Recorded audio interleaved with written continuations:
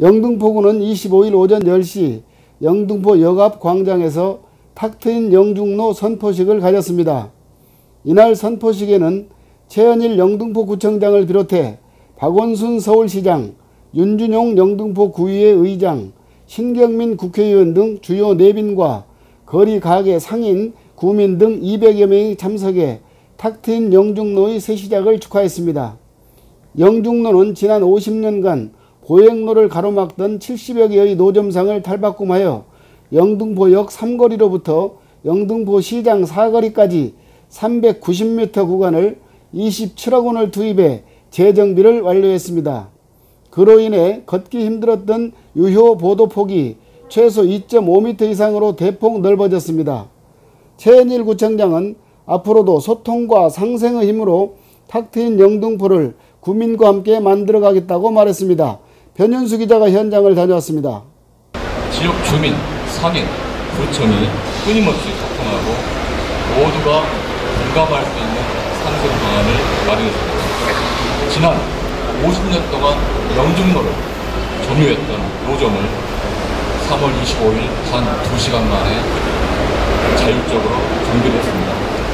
영중로의 변화는 탁틴 영등포의 새로운 도약이자 시작입니다. 앞으로도 소통과 상생의 힘으로 더 나은 미래 탁트인 영동포를 구민과 함께 만들어가겠습니다. 몇 년을 살았습니다. 그래서 이 동네를 잘 아는데 그때 연극장도 저기 그죠? 영동포 시장이 있고 그랬잖아요.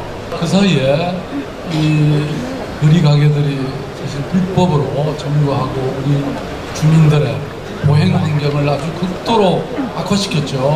어, 이것은 우리 최일 구청장님의 리더십이 있었고 그 다음에 공무원들의 끈질긴 노력이 있었고 그리고 또 건너갈 수 있게 해주라. 제가 이 얘기했고요. 두 번째 여기 보니까 이제 하수구의 냄새가 막 많이 나요. 그거 어떻게든 해결해 주십시오. 구청과 시청이 힘을 합쳐서.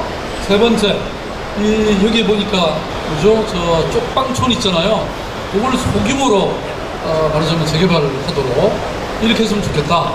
어, 이렇게 되면 여러분 이 일대가 어떻게 되겠습니까?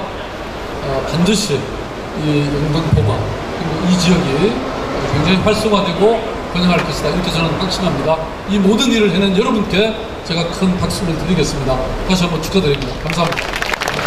어, 여러분들의 쾌적하고 살기 좋은 어, 그런 곳으로 만들기 위해서 생활 환경을 조성하고 이 그, 의원님들이 시청령 모두가 열심히 그런 거에 대해서 열심히 뛰겠습니다.